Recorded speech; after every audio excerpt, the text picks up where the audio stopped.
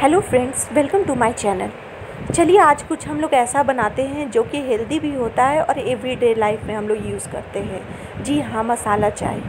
तो चलिए स्टार्ट करते हैं। सबसे पहले हम कुछ इलायची लेंगे, कुछ लौंग, काली मिर्च, दालचीनी और इसको थोड़ी देर धीमी आँच पे भुनेंगे ताकि ये कड़े हो जाए।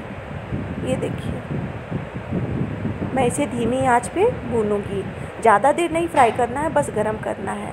उसके बाद इसे ग्राइंडर में डाल के ठंडा करने के बाद इसका इसका एक फ़ाइन पाउडर बना लेंगे।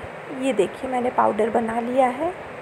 तो चलिए चाय बनाना शुरू करते हैं। सबसे पहले मैंने लिया है एक गिलास दूध। उसमें थोड़ी सी पानी, डेढ़ चम्मच चाय पत्ती, डेढ़ चम्मच चीनी उसके बाद अपना ये बनाया हुआ पाउडर हाफ़ स्पून कुछ अदरक, दा तेज़पत्ता और इसे कुछ देर तक खौलाएँगे हम लोग।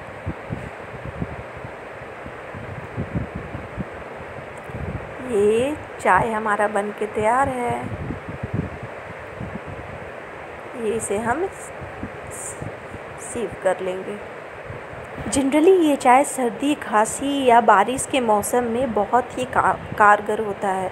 तो प्लीज़ आप एक बार इसे ट्राई करिए। ये बहुत हेल्दी और बहुत ही टेस्टी होता है। Thanks for watching my channel